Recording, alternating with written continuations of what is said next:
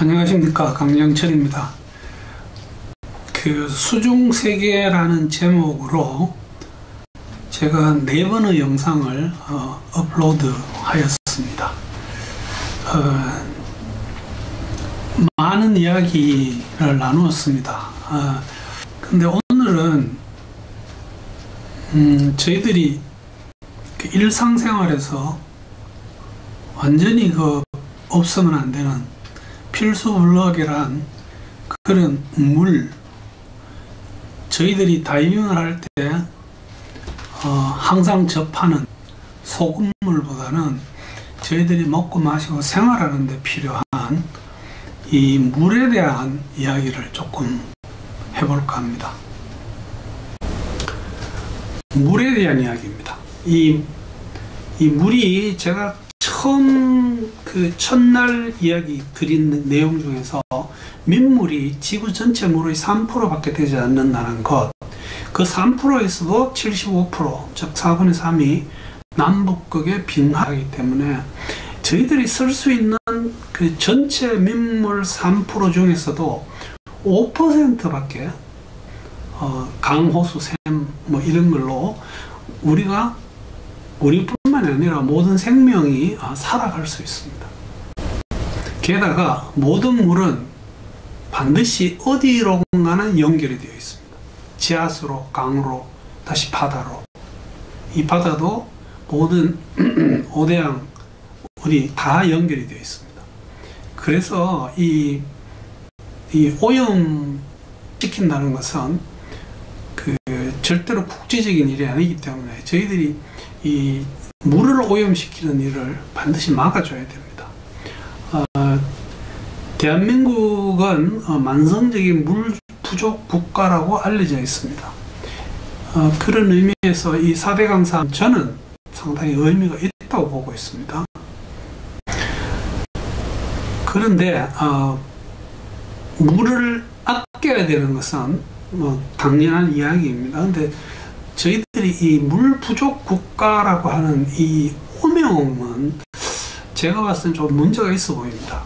이 Population Action International 이게 국제 인구 행동 연구소 이렇게 번역이 됩니다. 그 피, 파이가 어,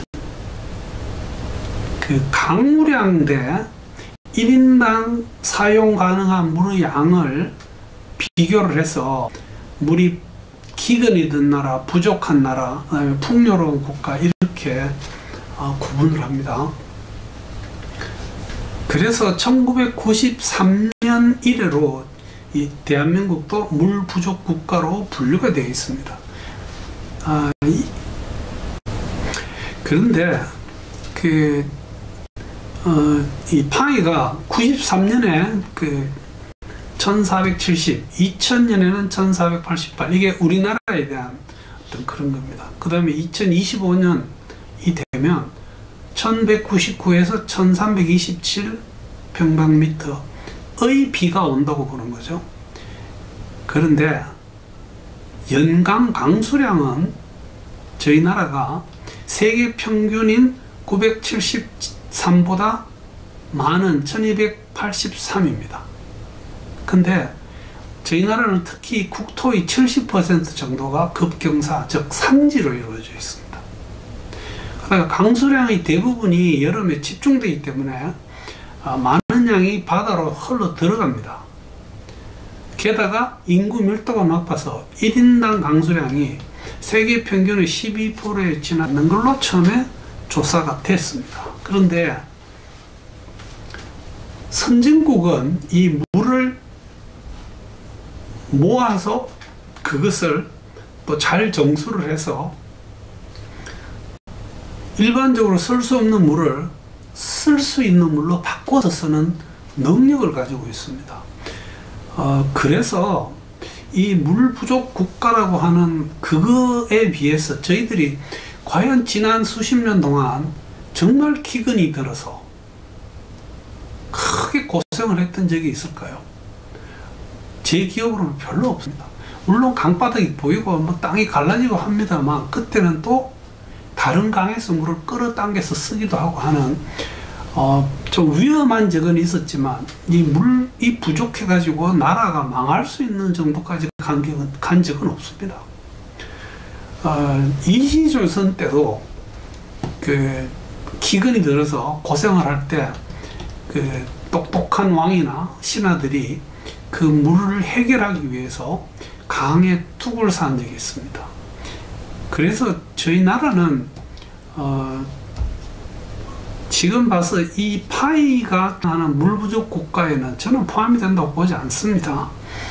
어, 2006년에 어, 그 World Water Forum이라는 게 있었습니다. 이게 세계 물 포럼인데요.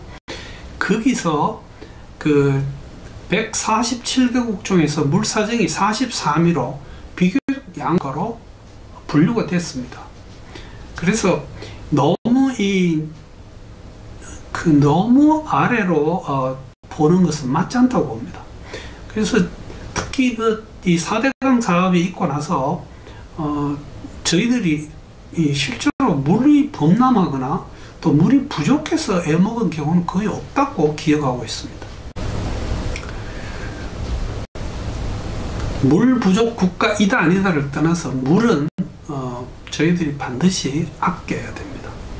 오염시켜서도 안 되고 이 물 낭비는 사실 국가적인 낭비입니다. 그 물을 만드는데 다 인력이 들어가고 돈이 들어가라. 물이 낭비되면 결국은 어, 국가적인 재앙이 됩니다. 저희들이 그 목욕탕에서 자주 보는 어, 사람이 자기는 비누칠을 하면서도 위에 수도꼭지를 털어놓고 합니다. 어떤 사람은 양치질을 하는데 물을 털어놓고 합니다. 저는 이런 사람 정말 싫어합니다. 자기가 그렇게 하면서 누가 옆에 앉잖아요. 그러면 부끄러워서 양치질을 하다가 괜히 그 칫솔을 물에 한번 씻고 또 양치질을 합니다. 물 틀어놓은 게 좀 부끄럽긴 한가 봐요. 이 탕에다가 그 물을 틀어놓고 그냥 방치를 하죠. 줄줄줄줄 넘쳐나갑니다. 그것도 막 뜨거운 물이 헐로 넘쳐서 그냥 하수도로 들어가는 걸 보고 있으면 가슴이 미어집니다. 물을 아껴야 됩니다. 마찬가지로 집에서도 저희들이 설거지를 하면서 설거지 하니까 제가 이 최효숙 트레이너한테 되게 미안합니다. 해도 잘 못하니까 자기가 다시 해야 되기 때문에 잘 시키지도 않습니다, 요즘. 그렇지만 수도를 틀어놓고 하는 경우, 샤워하거나 양치할 때 그냥 물을 어, 낭비하는 경우, 심지어는 뭐 물 틀어놓고 일부러 나가는 사람도 있다고 합니다. 이것을 피해야 됩니다. 그 유럽에서 그 여행을 하면서 저희들이 네덜란드에서 약 한 달 가까이를 어, 살면서 유럽 여행을 다녔습니다. 그때 이 네덜란드에서 가장 인상적인 것이 이 전 그 국토가 해발 아래에 있습니다. 즉 바다 수위보다 낮은 곳에 이 나라가 만들어져 있는데 거기에 어마어마한 그 운하를 개발해 놨습니다. 그 암스테르담 시내뿐만이 아니라 그 밖에 교회에도 다 운하에 물이 꽉꽉 차 있고 거기서 또 하나의 생태계가 존재를 합니다.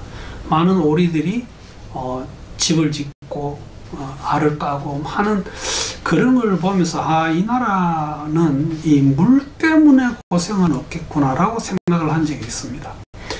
어, 저희 나라는 어떨까요?